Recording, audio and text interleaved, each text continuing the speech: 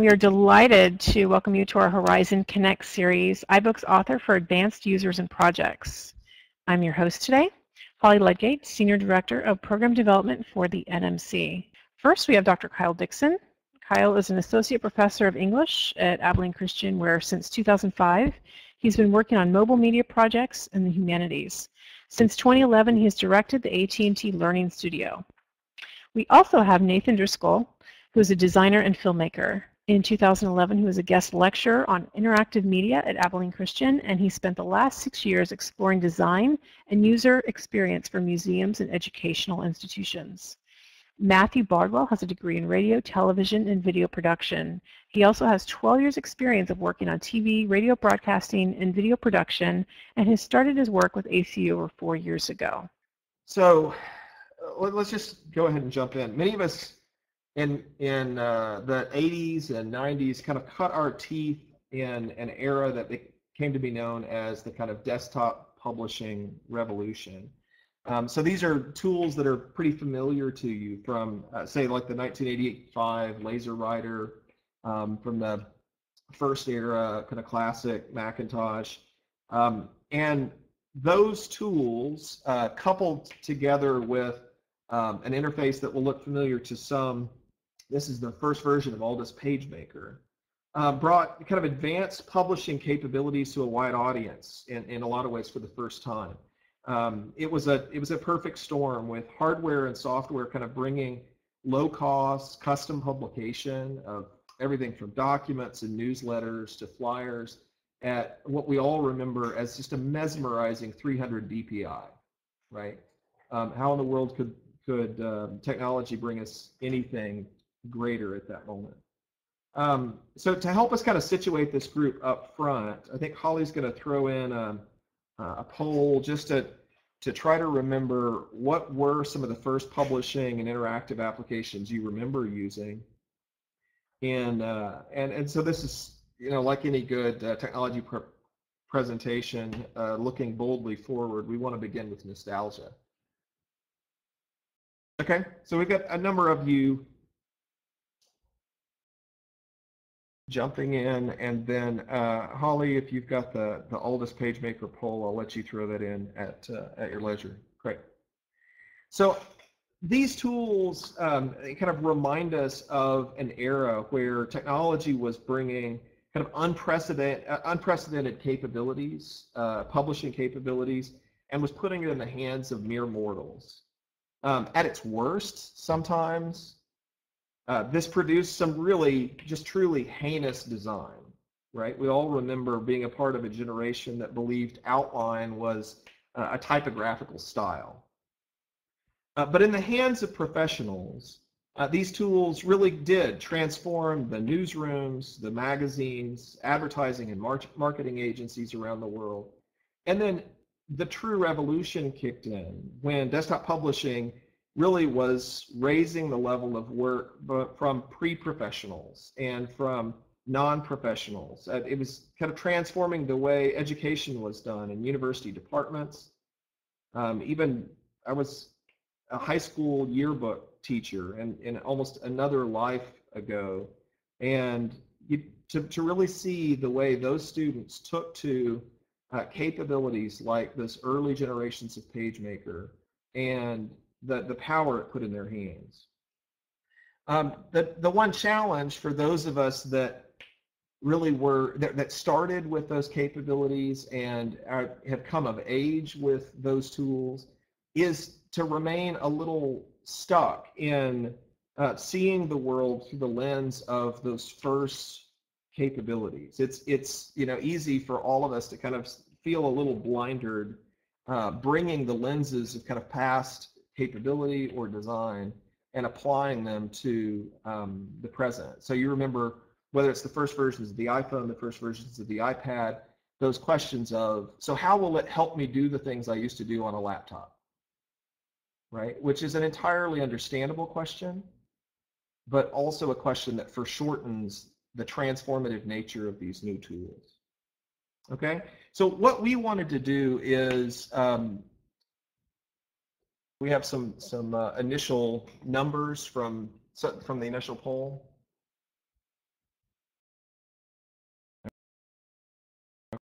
Okay, so if you've got the ability to uh, to kick in and tell us, uh, Holly, if that's live, what publishing and interactive applications you remember using, and we'll show some of those result results in a minute. No problem. Uh, but but these kinds of questions um, really put us back into the Yeah, mind those of uh, this this more recent era. Okay, so many of you remember early in January, maybe uh, of this year, where you were when iBooks Author was released, and and for lots of us personally, and for lots of us in in uh, education, the comparisons with these earlier revolutionary um, tools that brought powerful hardware with completely new ways to think about software were were obvious and instantaneous. Um, so the new publishing capabilities connecting novices and advanced users with a global audience felt familiar. Okay, most of us may very well have downloaded iBooks Author in that very first 24 hours or that first couple days just to kick the tires. We remember swiping through the pages of the kind of early samples from McGraw-Hill and Pearson and others, and it was exhilarating, right? These capabilities, I know how to create a keynote, so therefore I know how to create interactive texts. Um, those ca capabilities, in many ways, changed the landscape, or promised to. Uh, and so some of what we are wanting to do, I think, in this presentation is to, to walk through kind of where does the rhetoric meet the reality, and are we, is, is iBooks Author, um, is this kind of new era of interactive productivity tools or publication tools, um, kind of a next wave, a, a, kind of a revolutionary moment. Okay, um, let's go ahead. Holly, let's go ahead and skip past the next poll, and we'll um, we'll jump immediately to some context around um, kind of who we are. Uh, so for anybody that's had a chance to look at the year one report, uh, whether you looked at that in the in the PDF light version or in the full-on uh, iBooks uh, publication, you know that AT&T, the AT&T Learning Studio uh, opened here at ACU in 2011. Some of you were on campus at a mobile conference we were holding last uh, a year ago, February, and so it's been a busy first year. Um, in, many ways, the the the types of things going on up here in the learning studio um, are a natural iteration of projects that that we've watched happening and kind of um, developing in our interactions with NMC members since at least my first NMC conference at Princeton in 2008. And so there, I think for NMC members and for many of your member universities, there's a lot, a great deal in the, in the Learning Studio that will feel familiar, that will feel like it's jointly owned. Um, that same year, in 2008, was the first year that AT&T uh, stepped into um, the mobile connected campus experiment, bringing iPhones and iPods, um, as well as kind of new mobile portals, uh, mobile polling tools, and uh, podcasting programs um, kind of into the Center for Teaching and Learning and, and trying to look at those in some detail. Uh, it really was the growing interest in media production um, produced by or kind of sparked by the new mobile media devices that are always kind of on us, always with us, um, that led to, I think, the focused development of the Learning Studio. Um, so last spring we began a discussion um, about a need on campus and, and you know for us off campus uh, to develop an annual report, just to be able to introduce some of the core values of Learning Studio and share some of the stories from our first year, statistics about um, usage and a, and a, number of other things that would be um, important for us to, to kind of broadcast to a number of constituencies. The audience um, included uh, corporate collaborators at AT&T and elsewhere, uh, faculty and students at ACU that were still scratching their heads, some of them, and asking who we are and kind of what we represent, uh, as well as administrators and external grant uh, agencies that are, are you know, continuing to be a part of our funding future.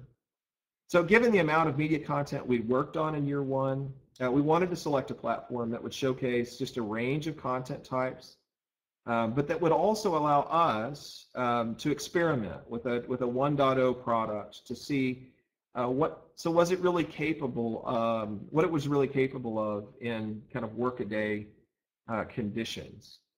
Um, Holly if you want to go ahead and pull up the chapter 2 video here. So we, we wanted the, the annual report to be able to accomplish a number of key objectives. Um, it needed to provide an external audiences a glimpse of the facility, folks that couldn't make their way to Abilene, um, to, to be able to explore the design of the space themselves. Um, we wanted the opportunity to blend stories from the first year with usage data on uh, how the space was being utilized, how checkout equipment and other kinds of capabilities were being leveraged. Uh, and then we wanted to establish an image of the Learning Studio as a center of experimentation, Welcome collaboration. to the next unit, an introduction to art. Brave This is our friend World. Dan McGregor. Now, He's a, I a really realize kind of creative awkward for art me and to be design talking uh, to you in the faculty member of a battlefield, and um, also if you probably kind of walked into me, us and says, looks like anything you know, I've always wanted to be on a green screen. And so this, it kind of illustrates one final key objective for us in uh, the facility, which was to showcase the breadth of involvement in year one that we were getting from just energetic faculty members and, and students from across campus. Um, in a nutshell, we wanted the, the year one report to kind of help share the stage, uh, to tell their stories as much as we were telling our story. What I'd like to do is to uh, transition here. We're going to introduce you to uh, Nathan and uh, Matt, Matt Bardwell and Nathan Driscoll. You've, you've heard their introductions a second, second ago. And I'd like to them, for them to have some opportunities to walk through um, so what was the experience like? A several month long project, um, you know, pretty significant in the life of, of our facility, um, but certainly an opportunity to see um, the full breadth of what does iBooks Author look like in a, a professional workflow. Okay, and I think they've got some things, uh, hopefully, that can engage a variety of questions, um, you know, across this audience. All right. Hi, everyone. My name is Nathan, and Matt's sitting here with me.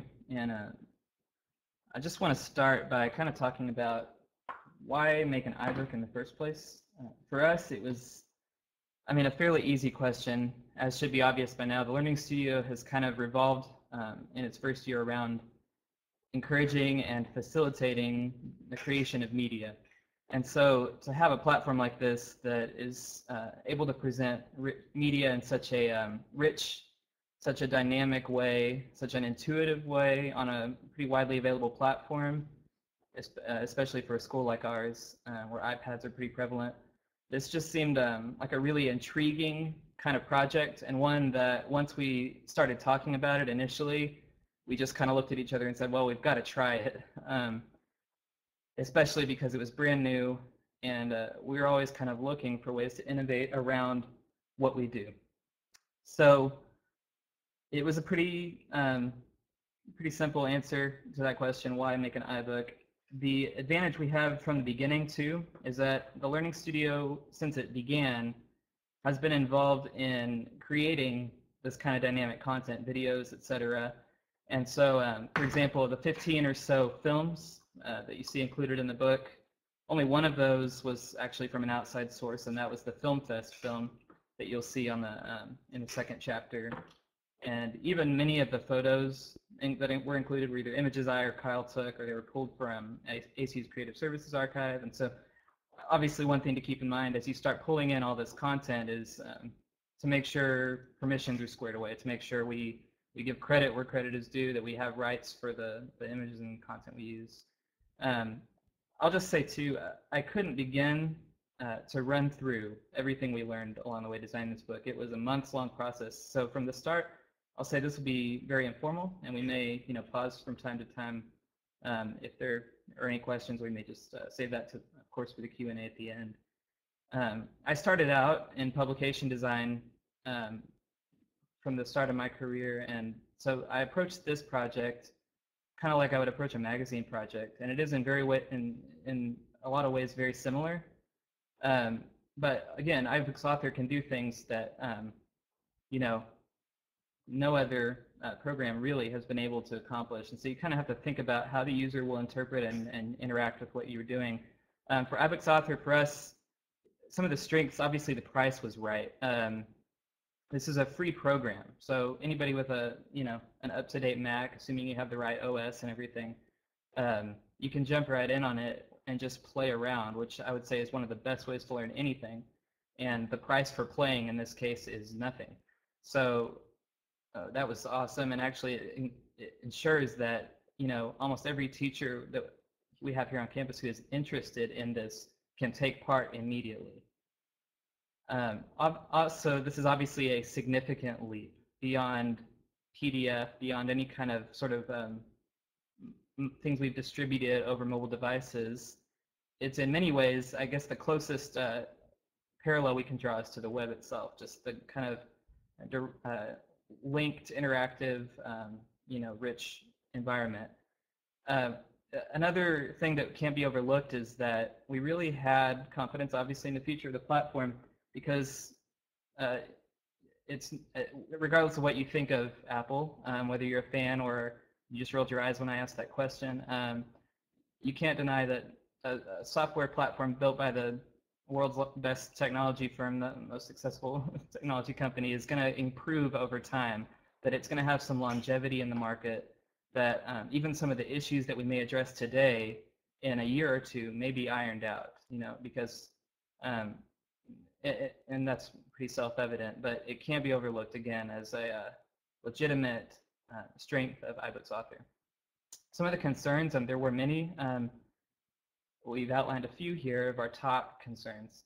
Obviously, it's an iPad-only audience, and to many, uh, you know, if you if it weren't for ACU having such a iOS-friendly culture here, there's lots of iOS devices floating around. We might not have been as uh, as anxious to take this on. Um, but as it is, that was a minor concern of ours, but it may be a major concern for some of the other, um, uh, some of you out there who are tackling the same type of uh, project.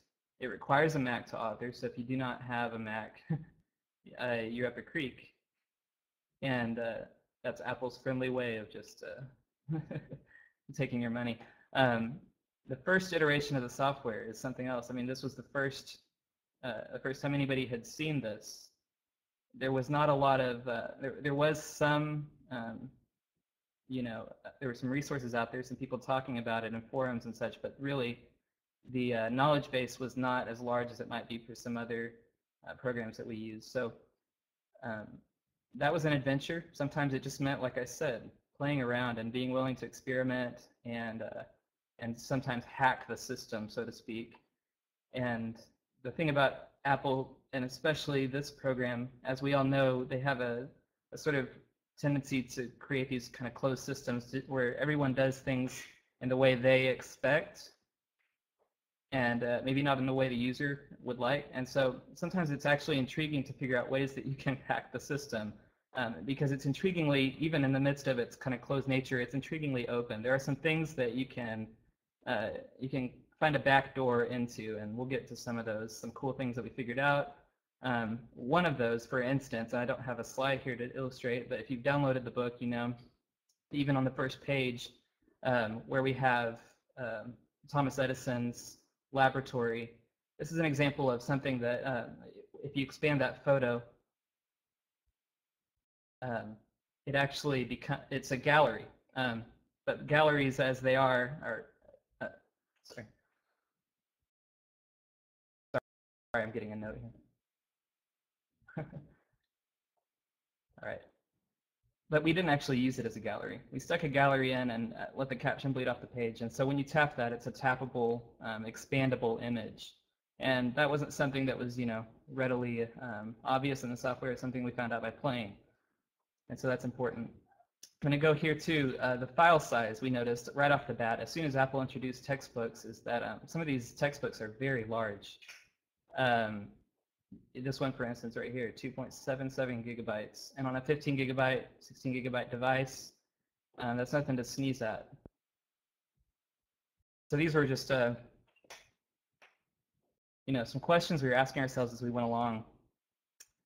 And so I kind of want to turn this over to you guys and say, uh, from your own initial look at iBooks Author, are there any um, significant pros and cons that you think educators should weigh carefully? And feel free to weigh in in the chat um, and begin each line with pro or con. We'll take a minute to kind of let you uh, consider that.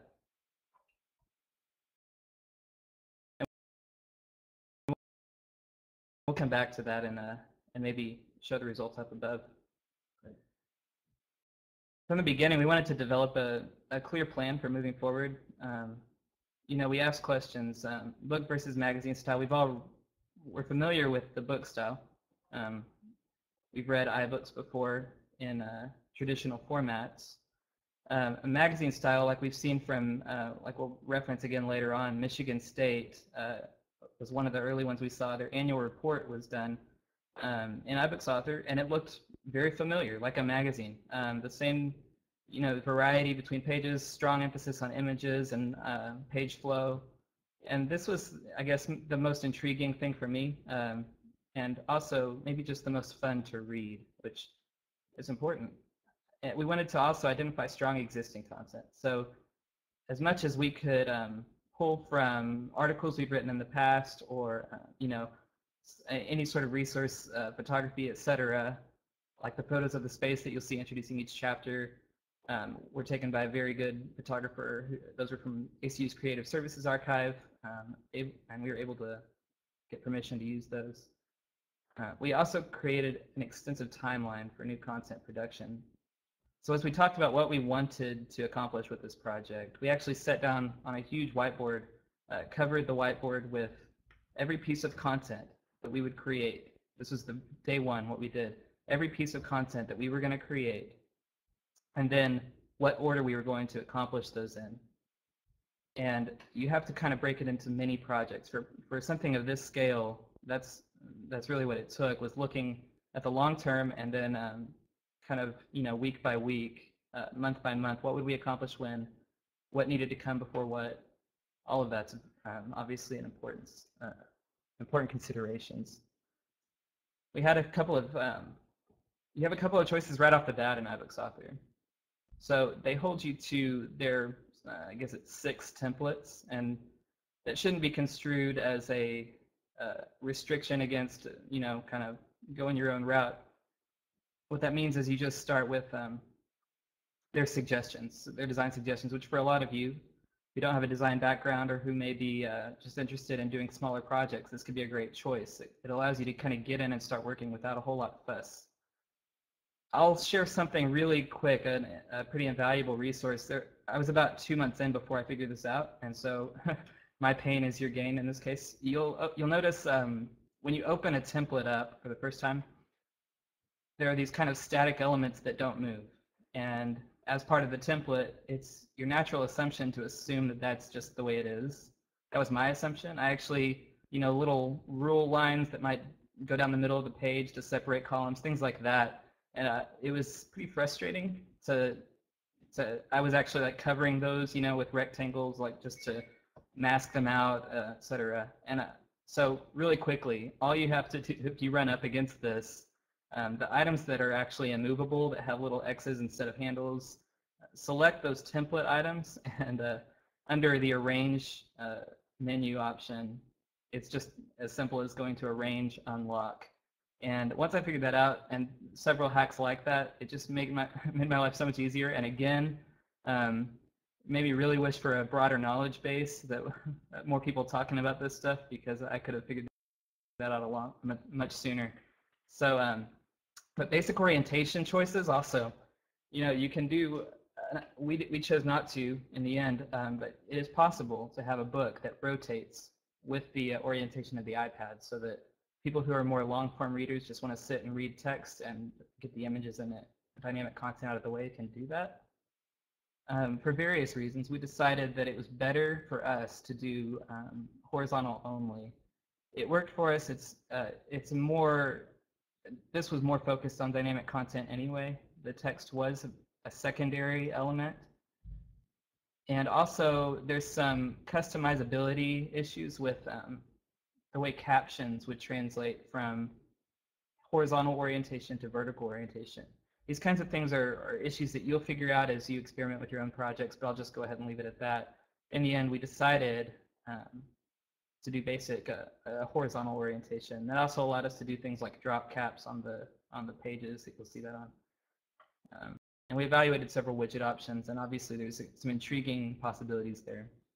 And then internal versus embedded media, meaning um, do we link, and I guess the, the question here was, do we link outward to, um, to linked videos from the web, or do we keep everything enclosed in this one uh, file so that you could you know, view it offline on an airplane or something like that? In the end, that's the decision we made, was to have everything embedded inside the book, and um, it, in, in, as far as the interactivity goes, that just um, we noticed that was the most seamless process for the user too. That they were able to watch uh, videos and such uh, much more intuitively. And if you had a video, for instance, embedded from outside and you swiped through to further chapters uh, and came back, it would basically pick up where you left off for HTML5 videos. And so that didn't really uh, work the way we wanted. And uh, But, you know, overall, questions to consider. Everyone's going to do this differently.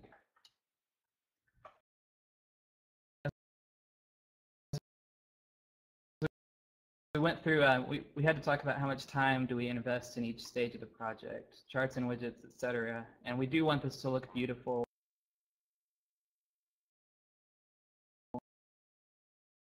And we do lean more towards quality um, and, and doing things right.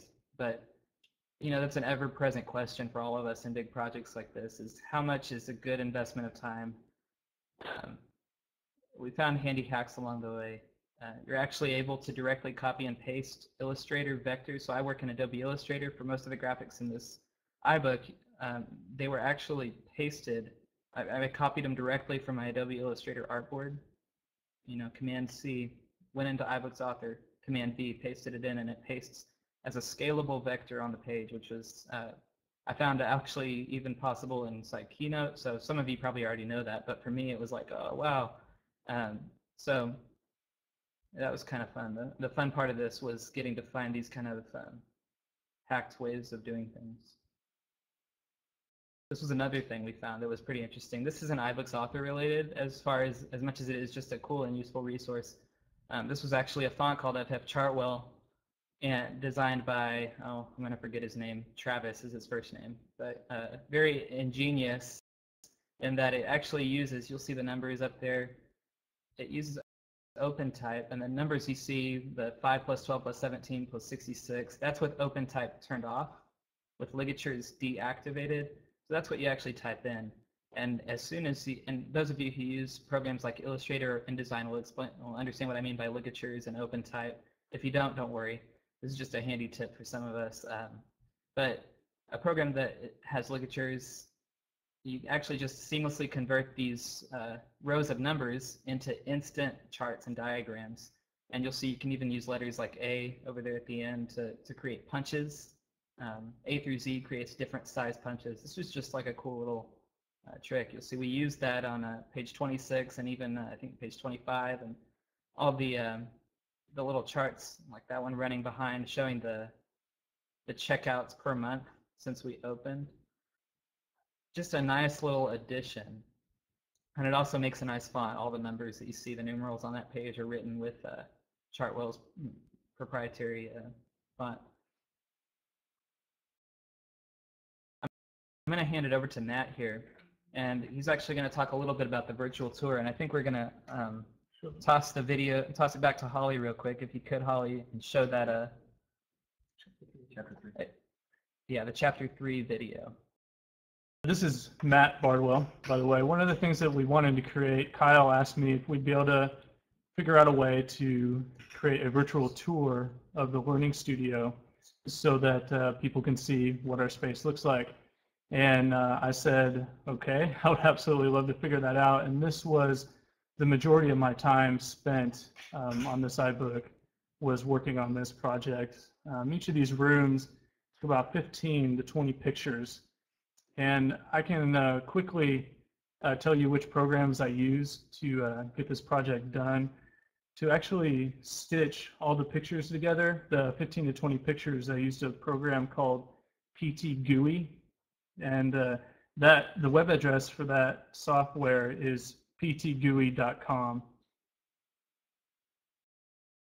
And then to actually create the panoramic movements and add that map that you saw on the screen, is a was made with a program called Pano 2VR, and that is actually put together by a company called Garden Gnome Software.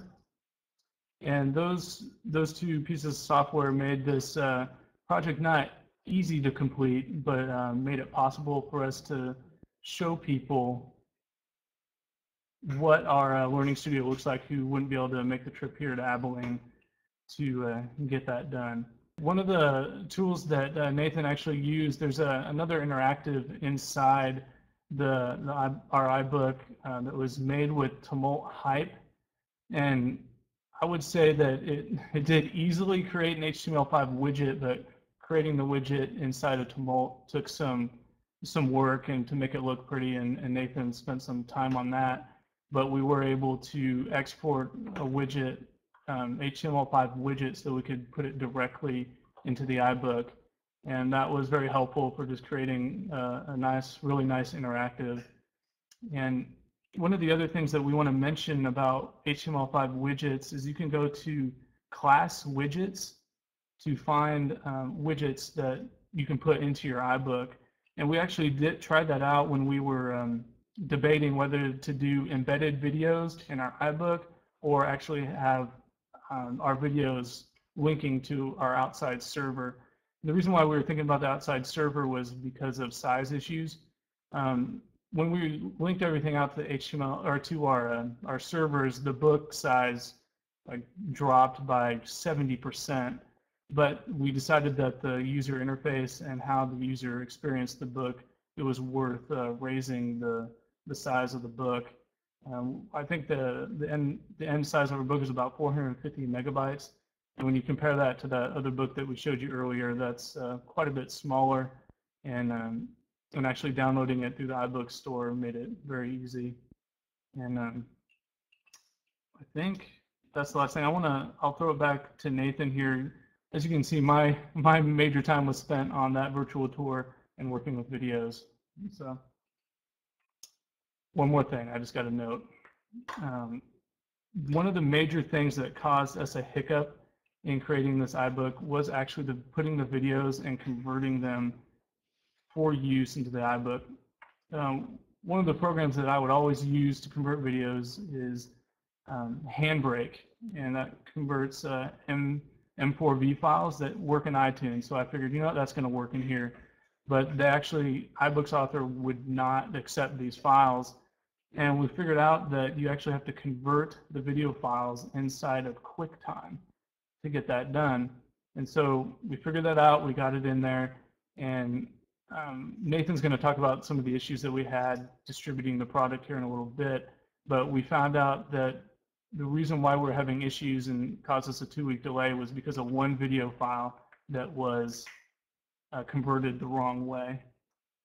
And the the problem was I converted one of them as a 720p file, but what you have to do is convert it as an iPhone file. You have to go down to export in QuickTime and set as I want this to be for an iPhone or an iPod.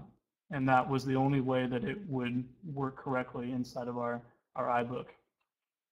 And so here is Nathan again. He's going to finish this up.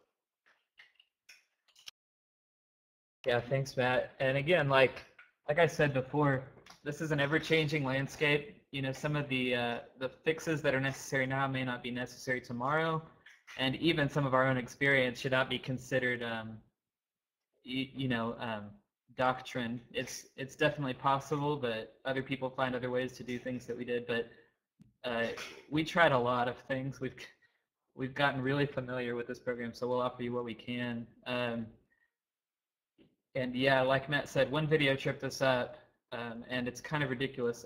What I have to warn you about that we'll come to at the end is that publishing is not as easy as the creation process. and that's putting it mildly, maybe as mildly as it could possibly be put, but we'll get to that. Um, another hack here, you'll see at the bottom, uh, custom poster images and play buttons. So it turns out that for videos that you embed in the pages, um, you'll see this on page 16 of the iBook, and uh, there's also on the LS Unboxed. LS Unboxed page. That um, it's actually possible to create a poster frame for a video that is not actually taken from the video itself. In this case, this was a video frame that we actually took into Photoshop and masked out every all the background and uh, the floor around the carpet. And we were able to then overlay the, a transparent PNG as a poster frame for the video, the playable video, uh, inside the layout in a way that let it overlap uh, kind of the textured background in that top bar. You'll see his head overlaps. Little things like this helped us immensely in just giving us freedom to design uh, the way we wanted. And this is invaluable. We actually, I think, got this concept from the E.O. Wilson sample book that was put out when iBooks Author was released and when the textbook initiative was uh, launched. And they had done something similar to this. Y'all might be familiar with it already, but just these nice little alternative ways of adding video to a spread and making it just kind of more interesting and more fun to play with. Uh, publishing. This was a, a hassle that none of us anticipated. Uh, publishing is done uh, I, I've never actually published anything to the App Store. I think it's done in much the same way as that with uh, iTunes Publisher, the app, and you sign up as a developer. Uh, we were using a free account, so we weren't charging for this book, obviously. Um, but at first, before all that, we decided that it might be possible to just share uh, the book over a network from a, a downloadable link like we had seen before. The problem with that became very quickly that at the beginning that works. When you're sharing proofs and you have two or three or 10 pages even, uh, that works. And once you get to 20 or 30 pages, if you tap the link uh, inside the web browser to download the iBook, like we from our uh, from our server, your iPad sits there and does nothing. No progress bar, no indicators that it's actually downloading, and it takes you know maybe upwards of 20 minutes sometimes to actually download the book. And you just expect your users to sit there and hope for the best and wait during that time. Um, but actually, that's I was surprised at what a terrible way that was to distribute. Um, it just, especially for a larger book, you have to have it. Um, I, I, would say right now the the only way to distribute a book that that large that I would consider is from the ibookstore because it's just a much more intuitive experience. And so that's what we did. But getting there wasn't so easy. Um, I'm going to go to the next spread here. Um, you'll see that I have two screen caps here, and I'm going to explain them.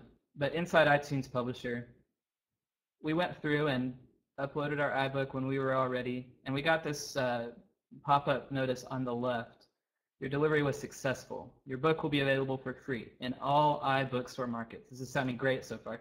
To adjust your book clearances, go to Manage Your Books in iTunes Connect. We hit OK. Our iBook is ready, but it wasn't. Um, in iTunes Connect, no book showed up. Uh, we had never done this before. We're not developers, engineers. Like I said, we hadn't done app development or any of that. So we assumed that we were waiting on Apple when actually Apple had never received our book. Even though we gotten the success message, Apple had never received it. And on the on the right here, you'll see how we figured that out. Finally, I believe we uh, it's an uh, file. It may be a file uh, menu option inside of iTunes Publisher. There aren't many options. This one was fetch status, uh, I, I believe, and we actually had to type in our ISBN, our vendor ID, and then pull the status from Apple's uh, records. And there we found what you're seeing here. Our uploads had failed. The import hadn't occurred. Apple had never received the actual content, and we didn't know why. Uh, that was maybe the worst part, that there were no indicators of what might have caused this. And in scrounging through um, you know, pages and pages of forum discussions, uh, we eventually realized that uh, it must have been an issue with videos. Now we had, like I said before, 15, 16 videos in the project, and so to sort out which one that was would have taken, you know, effectively 10 or 15 uploads, uh, trying over and over again. We were able to luckily um, I think Matt was actually the one who deduced which video it was specifically. And uh, guys, this is an issue that we had. You may have a different issue, but it's important to remember that do not assume at this point uh, in the process, at, at this date, don't assume when you get this successful delivery message that it was actually successful. And actually look in iTunes Connect, and if you do not see a book there to manage or to uh, check on the status of, if there's nothing in iTunes Connect when you log in, then there's a problem. And uh, just know what to look for. And uh, another problem was once the book is actually uploaded to the iBook store, the publisher actually has no control over when that actually gets published. And so from the beginning in forums, I was seeing people report anywhere from five to 13 days to three months, and it didn't seem to be predictable in any way, shape, or form. And we were worried about that. And the best I can, the best advice I can give you is to allow plenty of time for publishing.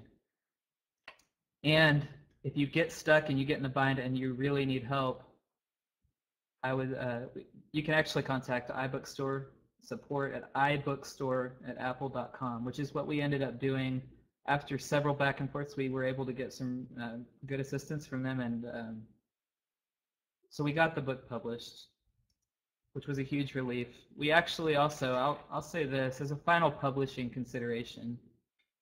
Um, we knew that not everybody looking at this was going to be able to um, view it on an iPad.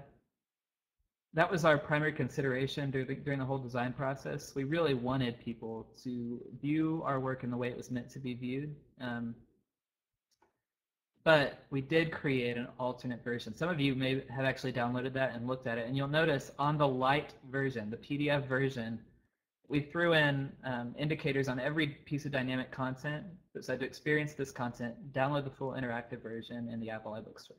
So this was just our kind of friendly nudge to say, we hope you enjoy this, and if you really want to enjoy it, um, go ahead and check it out. Uh, some resources that are going to be really helpful for those of you just getting into the program, which looked like there were quite a few of us in the audience that uh, you know may have just been starting out.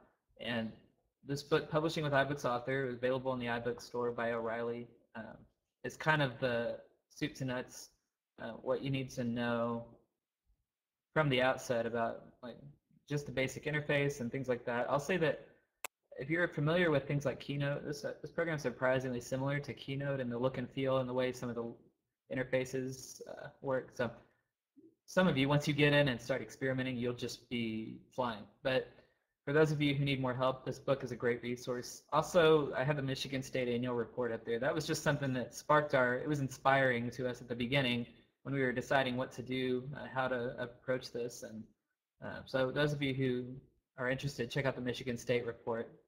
Also, check out the Made with iBooks authors section in the uh, iBook store, and that's at the bottom of the page under the quick links. That when you get into iTunes, or into iBooks rather, there's the quick links at the very bottom that say, one of them says made with iBooks author.